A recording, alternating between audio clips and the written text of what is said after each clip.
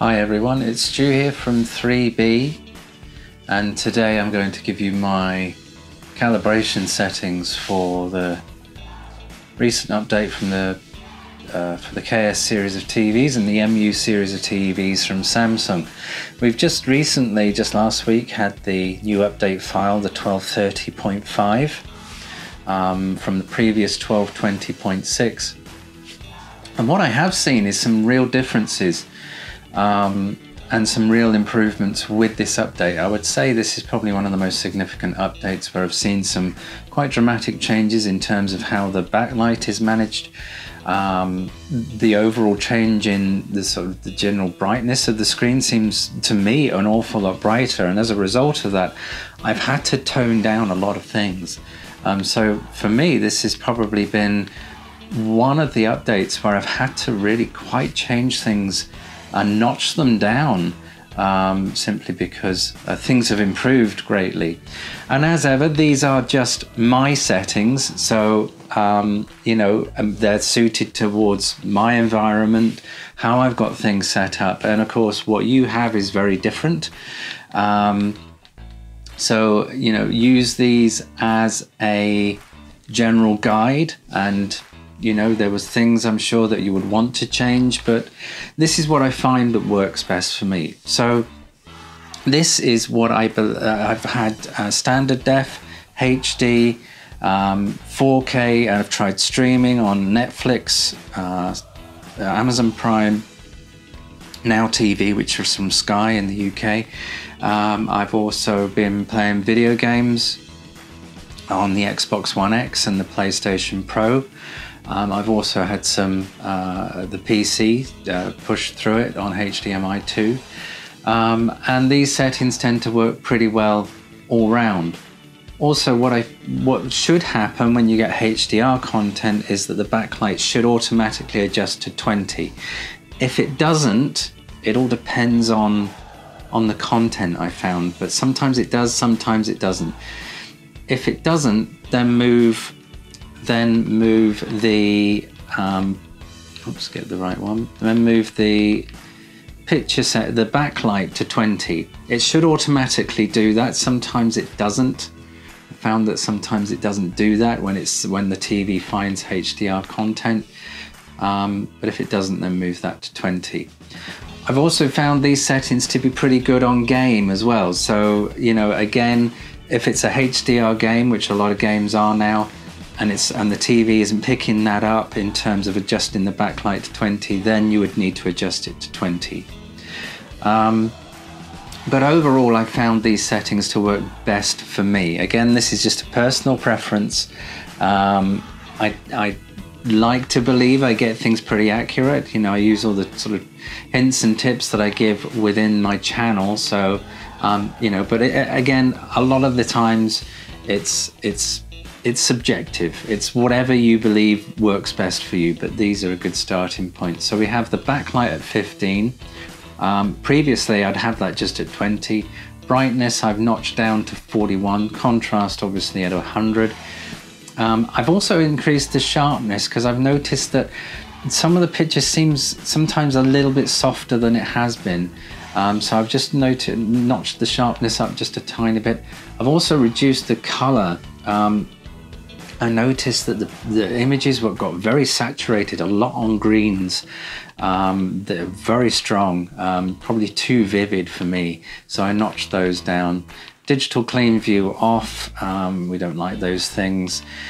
Auto motion plus, we just have that on, but we turn everything off. I know that sounds ridiculous, but just the fact of having auto motion plus on and then having everything turned off to zero just uh, just adds enough for it to kick in just to stop a little bit of flicker that's still there. Smart LED I still put to high. I still like to have the TV to react um, uh, really quickly and to be really bright in areas where it needs to be. Um, otherwise it just looks a bit subdued uh, HDMI UHD color tool channels, that HDMI black was set to normal, we can't change that. Dynamic contrast too, same for smart LED, you know, I, I like the fact that the dynamic contrasts adds a real difference. Um, with you know the differences between light and dark and so on um, are quite significant, and it adds a bit of punch. What I what I have noticed with the dynamic contrast, it does tend to crush crush the the shadows a little bit, crush the definition in in the blacks just a tiny bit. It's improved an awful lot um, since when I first started using uh, dynamic contrast, but I still like to have it on. Some people like to have it sort of off or low. Uh, again, this is just down to personal preference. And another one that's down to personal preference is I have it at warm 2, which some a lot of people find is probably a bit too yellow. Warm 2 is closest to the, the, the standard that, that the industry uses. Um, but you can, of course, you know, if you find that too yellow, you can use warm 1 um, or there's um, you know other other settings there as well from um, you know sort of standard and cool. Standard tends to look a bit false. Cool looks blue. Warm is less yellow.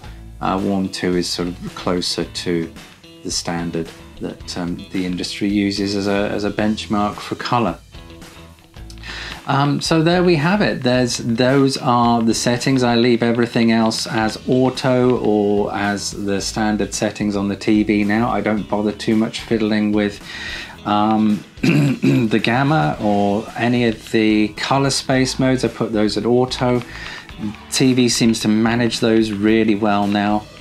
Um, so yeah, just very quickly, backlight at 15, brightness at 41, contrast 100, sharpness at 15, color 40, um, and then we have auto motion custom just with everything off just stop a bit of flicker smart mode a smart led at high and dynamic contrast at high and color tone at warm 2.